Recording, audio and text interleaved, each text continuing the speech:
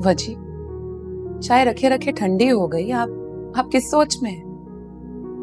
सब ठीक है? सोच रहा हूँ कि अनीशा का क्या होगा।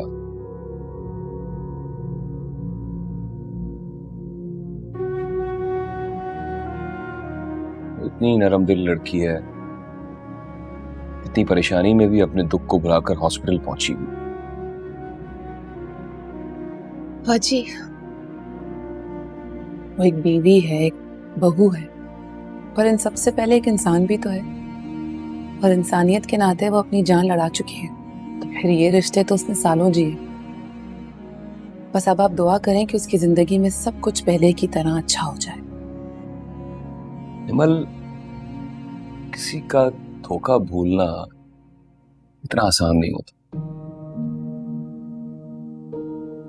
कभी कभी मैं सोचता हूँ कि अनीशा ने अगर मुराद को माफ़ कर भी दिया, क्या उन दोनों के दरमियान सब कुछ पहले की तरह हो पाएगा? कभी नहीं।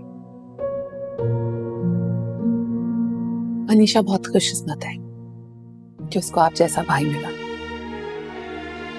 जानते हैं आपकी मजबूरी क्या है वजी क्या आप अनीशा का नसीब अपने हाथों से उस हिसाब से नहीं लिख सकते जैसा आप चाहते हैं? इस वक्त अनीशा की ज़िंदगी में बहुत मुश्किल हैं, पर सबका वक्त एक सा नहीं रहता। अच्छे दिल की लड़की का नसीब खुदा ने अच्छा ही लिखा हुआ उस पर भरोसा रखें, सब कुछ ठीक हो जाएगा। आप मुजैफा के साथ ही रहिएगा, मैं किचन से आती हूँ।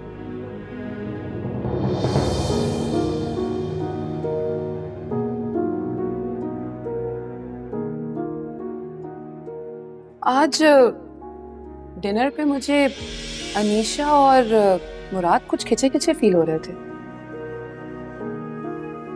हाँ मैं भी नोट कर रहा था। मैंने बातों बातों में उससे पूछना चाहा लेकिन वो कुछ बोली नहीं। मुराद से आपकी कोई बात हुई है इस बारे में? मुराद और अनीशा के रिश्ते को मैं बहुत अच्छी तरह समझता हूँ। वो ज़्यादातर एक दूसरे से नाराज़ नहीं रह सकते। मियाँ बीवी के रिश्ते में नोक झोंक तो चलती ही रहती है। तो मुझसे नाराज़ नहीं होती। हमारी बात अलग है पर मैंने कभी अनीशा और मुराद को ऐसे नहीं देखा। इनफैक्ट वो तो एक दूसरे का इतना ख्याल रखते हैं कि मैं हैरान रह जाती हूँ। अच्छा तुम स्ट्रेस मत लो मैं मुराद से उगलवा लूँगा कि मामला क्या गुड